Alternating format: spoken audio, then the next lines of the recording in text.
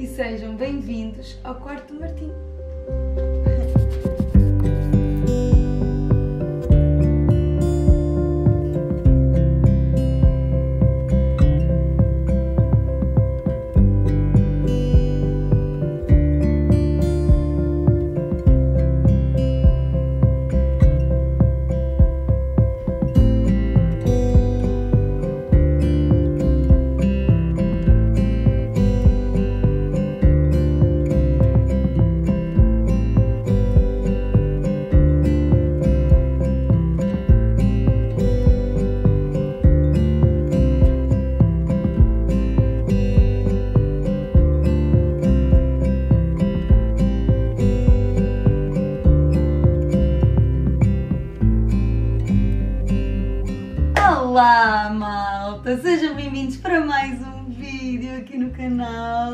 Desta vez um vídeo bastante especial, muito especial. Finalmente vou-vos mostrar o quarto do nosso bebê, do Martinzinho, que já está quase cá fora. Finalmente, porque vocês estavam sempre a mandar mensagem, quando é que mostras o quarto e eu às vezes metia pistas no Instagram, assim, como ninguém quer a coisa, tipo, ah, já estou quase a fazer vídeo. Pronto, e finalmente está cá fora o vídeo. Está aqui o Miguelito atrás da câmara. Diz olá, Miguelito.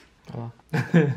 Temos aqui, olhem, mesmo para começar, Esta é a parte preferida do quarto. Não incomodar o Martim, ele está a dormir. Isto aqui é de, das mil e uma ideias de sonho que por acaso ofereceram, foram mesmo queridos, obrigada. E então, entramos, temos aqui uma plantinha. Temos aqui esta girafinha, não sei porquê, mas eu ando doida com girafas, não sei. Primeiro eu quis, eu quis fazer deste quarto, sabem aquele, aqueles quartos que agora estão super aí, que é em modo jungle, selva, cheio de girafinhas, pronto, eu adoro, adoro e acho amoroso tudo o que tem a ver com isso. Why not? E a esquadra estava cá em casa, nem era para meter aqui no quarto, eu estava na sala e eu assim, ok, já que estamos em modo de girafinhas, bora lá. E Foi grande Inception, tiveste a olhar para este quadro durante bué de tempo e assim, o meu quarto tem que ter boas girafas. Pronto, e depois temos aqui, vou fechar a porta, depois temos aqui um cabidezinho, que é para quando ele chegar da escola meter aqui, cheguei, meter aqui as coisinhas, estou a brincar, acho que aí já vamos mudar de casa, não é? Não sei. Meter aqui, pronto, os casaquinhos dele, pronto, pá, metemos aqui só um pormenorzinho, sejam bem-vindos a esta parte. Bem, este quarto já foi imensa coisa. Isto era, era o meu estúdio. Pois isto era o teu estúdio e já foi um quarto, não é? Normal. E agora está completamente diferente daquilo, daquilo que era a reviravolta e a mudança que nós conseguimos fazer aqui, passo real. Depois temos aqui este closet aqui. E o problema de- do closet é, imaginem, eu mudei para a casa do Miguel e não tinha espaço para pôr a minha roupa, porque o armário do Miguelito era mesmo pequeno e lá no quarto não dava para acrescentar mais este. Eu acrescentei isto aqui, O meu tinha era tão pequenito, o armário.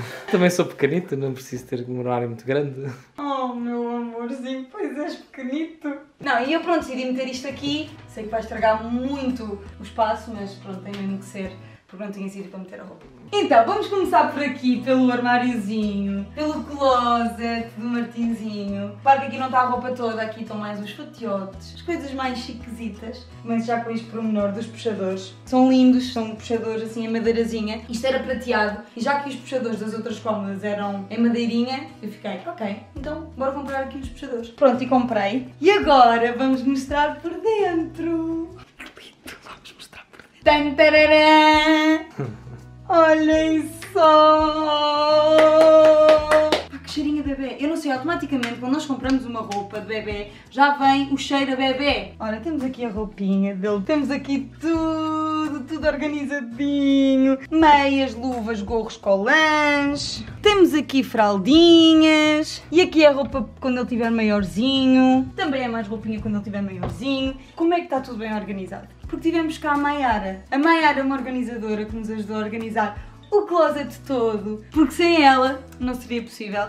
E ela ajudou-nos a organizar isto muito bem. Embora agora, quando ela vai organizar, haviam muitas pouquinhas peças. Portanto, eu já fui acrescentando algumas e é por isso que isto não está, se calhar, tão organizadinho por cores, porque eu já andei aqui a meter e eu, como não percebo nada dessas coisas de cores e organização e isso tudo, tentei ao máximo continuar com, com isso organizadinho. Aqui as mantinhas, aqui as toalhinhas, aqui em cima pronto, algumas malinhas que vamos precisar e aqui algumas coisas também vamos precisar. Aqui temos os lençóis do Next to Me, do berço. Pronto, isto são coisinhas de reserva, que é tipo quando faltar ali naquele lado, que é onde nós vamos estar sempre a mudar as fraldas e isso vamos aqui buscar. Temos aqui fraldinhas, toalhitas, ou seja, tudo e mais alguma coisa.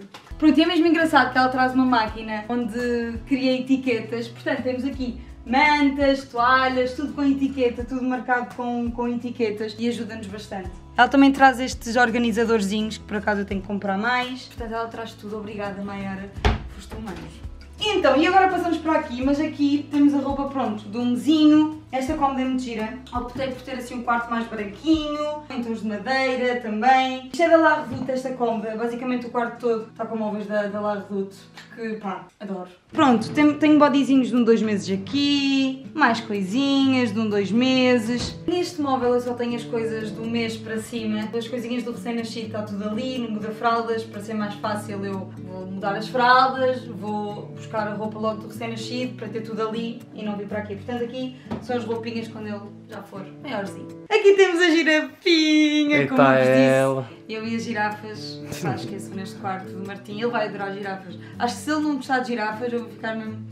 Pronto, temos aqui estes quadros lindos que acho que pá, fazem toda a diferença. E eu por acaso vi no quarto da bebê da Alice e estes quadros são da Alzira, depois deixo na descrição. São quadros mesmo giros, depois assim. Ah, eu também quero. E fui escolher. Amorzinho, qual é que tu gostas mais? Temos uma zebrinha, uma raposinha. É muito difícil, são todos lindos.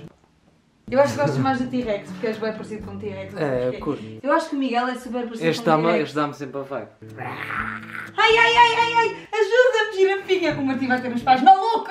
E temos aqui esta estruturazinha. Foi o meu cunhado, Bernardo, que fez. Props para o Bernardo. Depois eu vou deixar também o Instagram dele aí em baixo. Pá, não tem uma empresazinha, mas ele trabalha muito, adora trabalhar com, com madeiras e as coisas todas, portanto eu vou deixar o Instagram das coisinhas que ele faz aí em baixo. Eu acho que é uma mistura mesmo, pá, bonita, verde, azul, assim pronto, um verde aguado.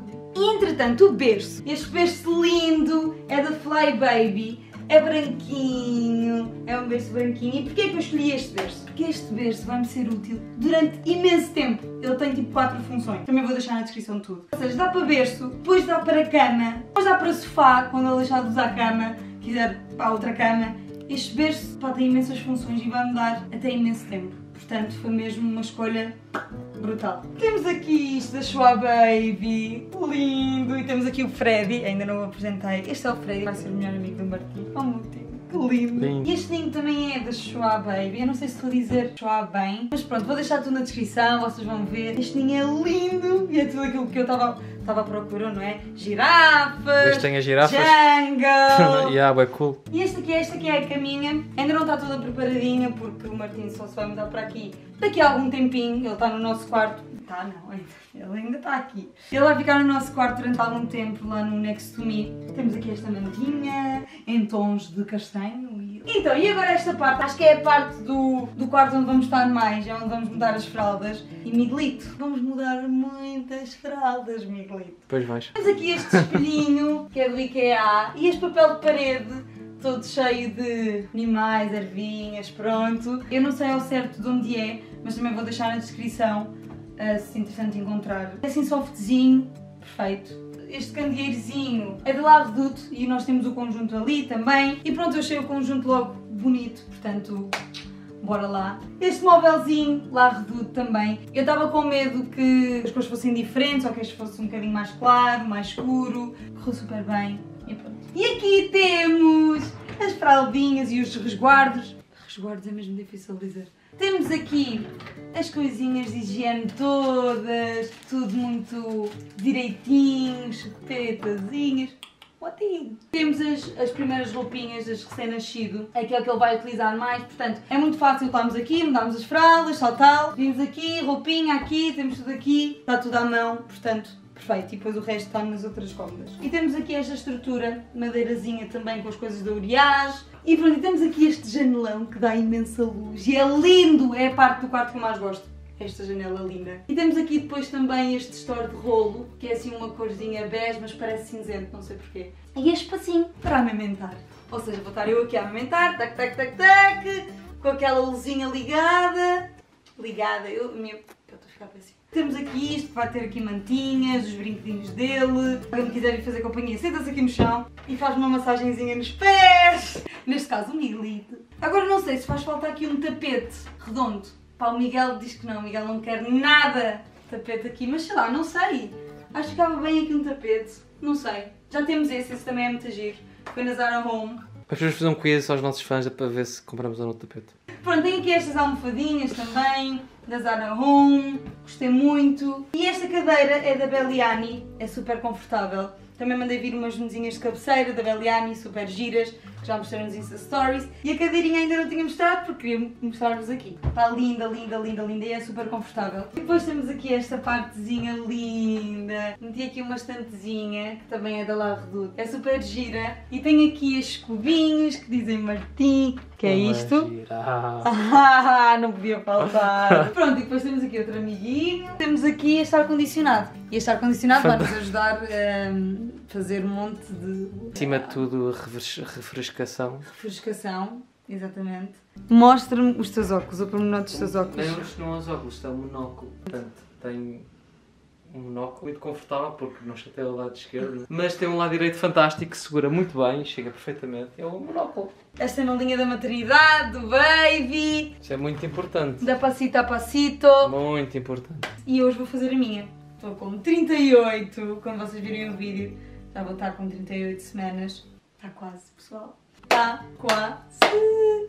Foi este o quartinho. Estou muito contente. Fizemos um bom trabalho, amor. Fizemos um excelente Choca. trabalho. Agora eu vou abandonar o Miguel porque antes do vídeo terminar eu vou-vos falar sobre a criostaminal. Muita gente nos perguntou se íamos guardar as células estaminais do cordão umbilical do nosso bebê, do Martim, e a resposta é sim. Eu já tinha respondido no meu Insta Story a dizer que íamos e escolhemos a criostaminal, que é líder em células estaminais. E estamos muito contentes e eu agora vou-me sentar ali e falar um bocadinho com vocês sobre isto também, para responder-vos algumas questõezinhas que me têm perguntado. Claro que não vou responder a imensas e a todas, porque senão o vídeo fica muito extenso e longo e eu não quero isso. Mas aquelas que eu não responder vou meter no, no Instagram, no Insta Story, para vocês irem lá buscar ele não me quer largar. Eu disse que ele podia ir, mas Nunca. ele não me quer largar. Nunca vou, Então aqui estou eu sentadinha para vos responder algumas perguntas. E a primeira questão que eu quero já desmistificar, porque sinto que a questão financeira é, uma, é a questão mais levantada e sinto que às vezes é um bloqueio para não, para não, para não se avançar com a criopreservação de, das células estaminais. Queria já desmistificar o facto de dizerem pronto que isto é muito caro, porque não é. Isto são cerca de 80 euros por ano, o que traduz a 22 cêntimos por dia. Claro que 80 euros é dinheiro, óbvio, mas há pessoas que pensam, eu vi mensagens e quando me perguntavam quanto é, havia mensagens de pessoas a dizer que era um, que era um absurdo mesmo, valores absurdos e portanto eu queria já dizer que não é. Mas pronto, vocês também têm sempre o site da Criostaminal e o Instagram deles, portanto podem sempre fazer essas questõezinhas que eles vão estar sempre lá para vos responder também. Então, próximas questões. Eu tenho aqui várias, mas vou juntar todas numa só. Que é o que são as células estaminais, porquê guardá-las, benefícios futuros e em que situações podem ser úteis, que doenças podem ser tratáveis com as células estaminais. Então, este é um tema de saúde bastante complexo, não é? Eu, às vezes, não gosto de falar nestas coisas porque não sei muito bem explicar e pronto, fico um bocado encolhidita porque tenho medo de dizer alguma coisa que não saiba. Claro que, que eu, antes de, de avançar com isto das células estaminais, fiz muitas pesquisas, falei muito com a criostaminal também para perceber várias coisas e, basicamente, que é que são células estaminais? As células estaminais, estas células, estão disponíveis no cordão umbilical do bebê e também são chamadas células-mãe. Porquê é que são chamadas células-mãe? Porque têm capacidade de dar origem a outras células do sangue ou a células que constituem os órgãos e é por isso que são tão úteis em, em tratamentos de, de, de, várias doenças. E são mais de 80 doenças, as doenças que se podem tratar através do, do sangue do cordão umbilical. Leucemia, anemia, doenças metabólicas, pronto, etc. E também já foram realizados mais de 45 mil tratamentos em adultos e crianças com as células estaminais. Portanto, isso é ótimo. E estas células estaminais só podem ser unicamente, exclusivamente colhidas no, no parto. E depois são guardadas com método de criopreservação durante 25 anos. Portanto, nós podemos ter estas células guardadas durante 25 anos. E pronto, Deus queira que não aconteça alguma coisa, mas é sempre uma segurança. Tinha aqui uma pergunta a dizer se há desvantagens. E não, não há desvantagens, porque as células são colhidas logo após o nascimento e os médicos já estão muito habituados a este procedimento, é, é indolor tanto para a mãe e para o bebê, está tudo ok. a altura ideal para pedir o kit de colheita das células estaminais? Então, é aconselhado tomar esta decisão de se queremos ou não preservar as células estaminais até às 30 semanas, porque isto depois leva, tem vários processos, ou seja, nós primeiro temos que nos informar muito bem e depois temos que pedir o kit, temos que nos inscrever, preencher alguns formulários para estar tudo bem e em ordem. Isto requer algum tempo e o aconselhável é às 30 semanas já termos uma decisão tomada para começarmos então a avançar. Outra das perguntas mais perguntadas foi a compatibilidade entre irmãos. Então, as células estaminais do cordão umbilical do bebê são 100% compatíveis com o próprio bebê. 100% compatíveis com o próprio bebê, mas eu vou-vos ler aqui para não induzirem erro. No caso de guardarmos as células estaminais do cordão umbilical do bebê, estas células são 100% compatíveis com o próprio bebê e podem ainda ser compatíveis com os irmãos. É entre irmãos que há maior probabilidade de compatibilidade total. Dois irmãos, filhos dos mesmos progenitores e têm 25% de probabilidade de serem totalmente compatíveis para transplante. No entanto, a decisão do tratamento ser realizado com as células staminais do próprio ou de um familiar compatível depende naturalmente do tipo de doença. Mas pronto, isto está tudo no site, vocês passem por lá, que também não vou estar aqui a ler, também está lá tudo explicadinho. Eu sei de casos de, de pessoas pronto, que eu conheço, ajudaram primos também, portanto, isto é sempre uma segurança ter. Informem-se, grávidas desse lado, casais desse lado, informem-se Entretanto, a câmara ficou sem bateria, portanto, não sei se a luz está diferente ou não. Mas pronto, vou responder à última questão. Colheita e recolha na maternidade. Então, em relação à recolha na maternidade e à colheita, é muito simples. Obviamente que antes do parto temos que ligar à criostaminal, para a criostaminal enviar este kitzinho aqui, porque dentro deste kit existe um formulário que temos que preencher e depois enviar para eles, com todas as informações, e depois de entregarmos os papéis todos enviarmos o formulário todo preenchidinho, mantermos este kitzinho, porque está aqui tudo dentro,